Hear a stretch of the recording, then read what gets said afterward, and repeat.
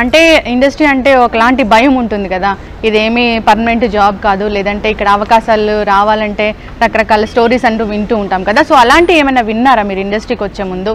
వచ్చిన తర్వాత అలాంటి ఏమైనా జరిగాయా? మీకు ఎక్స్పీరియన్స్ అయ్యా? నేను అలాంటి స్టోరీస్ ఏం వినలేదు. బట్ అంటే నేను నాకు అంటే నేను ఒక ప్రాజెక్ట్ మేజర్ ప్రాజెక్ట్ ఒక సాఫ్ట్వేర్ కంపెనీలో చేశాను. ప్రాజెక్ట్ వర్క్ నేను చదువుకున్నప్పుడు ఎంబీఏ సెకండ్ ఇయర్లో సో మైనర్ వచ్చి మీడియాలో చేశాను అనమాట సో అప్పుడు నేను major project major project work చేస్తున్నప్పుడు ఐ థాట్ నేను ఒక సాఫ్ట్వేర్ జాబ్ అసలు చేయలేను. అండ్ అంత మెకానికల్గా అంటే ఒక time six to six job నేను అస్సలు చేయలేను. నాకు అంటే నాకు కొత్తగా ఉండాలన్నమాట. రోజు it has to be new for me and ఎక్సైటింగ్గా ఉండాలి. సో నాకు ఆ థాట్ రాలేదంటే ఇప్పుడు ఇక్కడికి వస్తే జాబ్ లాగా మనకి మంత్లీ మంత్లీ శాలరీ అలా ఉండదు.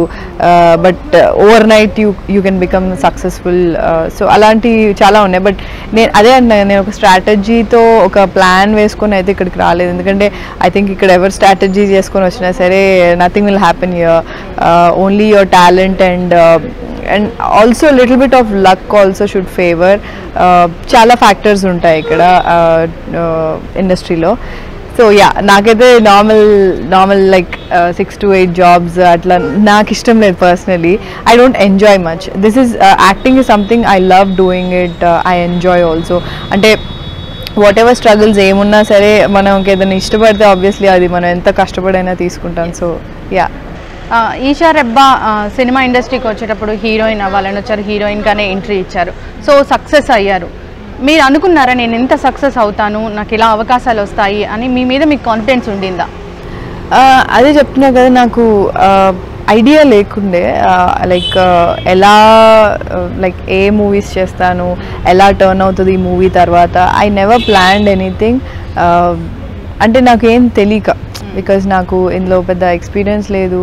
అండ్ ఇండస్ట్రీలో uh, ఏంటి అంటే uh, ప్రతి మూవీకి you you work with different people different producer different director different actors technicians వేరే ఉంటారు. So it's always a learning experience movie to movie to movie మీకు uh, ఏదో ఒకటి నేర్చుకుంటూ ఉంటారు ఇండస్ట్రీలో అండ్ నేను um, అంటే ఇనిషియలీ uh, నా ఫస్ట్ మూవీ చాలా అప్రిసియేషన్ వచ్చింది.